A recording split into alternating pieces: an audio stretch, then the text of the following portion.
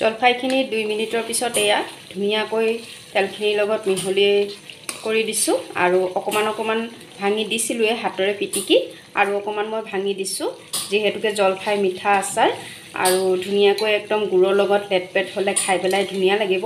এয়া দেখিছেনে? ওচৰৰ পৰা দেখাইছোঁ। লোভ লাগিছে নাই বাৰু? চাওকচোন।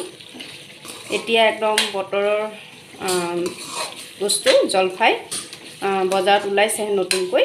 মই আধা কেজি কিনি লৈ আহিছিলোঁ। তাৰে অকণমান সিজালোঁ। তাৰপিছতে সিজাই পেলাই ৰ'দত দিয়াৰ লগে লগে শুকাই অকণমান হৈ গ'ল। আৰু এতিয়া মই ইয়াতে এই যে গুড়ি কৰি লোৱা মছলাখিনি ঢালি দিম।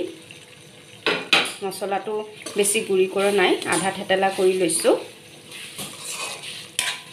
এই মিঠা আচাৰটোত এই মছলাটোৱে মেইন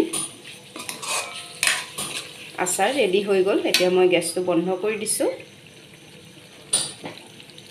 আজি যদি মোৰ ভিডিঅ'টো ভাল লাগিলে প্লিজ এটা লাইক কৰিব আৰু কমেণ্ট কৰি জনাবলৈ কিন্তু নাপাহৰিব।